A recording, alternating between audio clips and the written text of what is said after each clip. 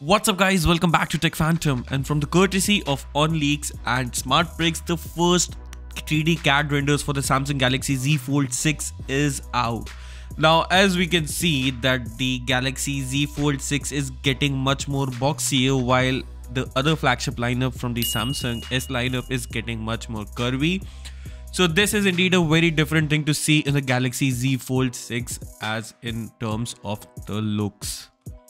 The phone will also be coming this time around with the same overall design and the camera setup as we can see in the phone in the phantom black color option. The speaker grill will be present in the phone on both of the side with the stereo speaker support.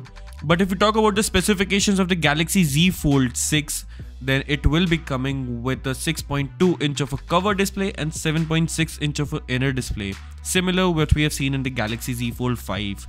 Now both of the display will be AMOLED dynamic display will be supporting 120Hz of high refresh rate and not only that the inner display will be made of plastic or the UTG or the ultra thin glass as the Samsung calls it.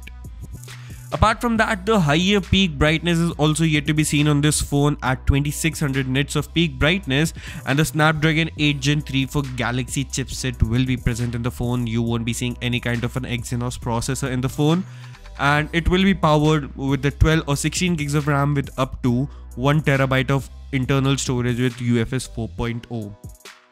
If we talk about the camera sensors, then the camera layout is going to be disappointing one as it's still going to be a 50 megapixel of a primary camera, a 12 megapixel of an ultra wide and a 10 megapixel of a telephoto camera. Now it's going to be very sad to see in a smartphone worth more than a lakh and a half in India and overall 15 $100 smartphone to be coming with this camera setup. And the selfie camera is a 10 megapixel which is again more of a bummer in 2024 apart from that the uh, camera on the under display or the inner display camera is going to be a 4 megapixel on the inner screen. And the battery side of the phone is said to be remaining the same and with the same 25 watt of fast charging. The one of the major upgrades will be coming is that the major OS upgrades which is 7 major OS upgrades in the Galaxy Z Fold 6 and the Z Flip 7. Now apart from that the phone will also be set to be launched in the late of July or even the hands-on will be coming with the August 2024 as we see for the Samsung flagship foldable experience. Now what do you think about this video? If you like it and share it, hit that subscribe button so you never miss an update from us. Thanks for watching and I'll see you in the very next one. Goodbye.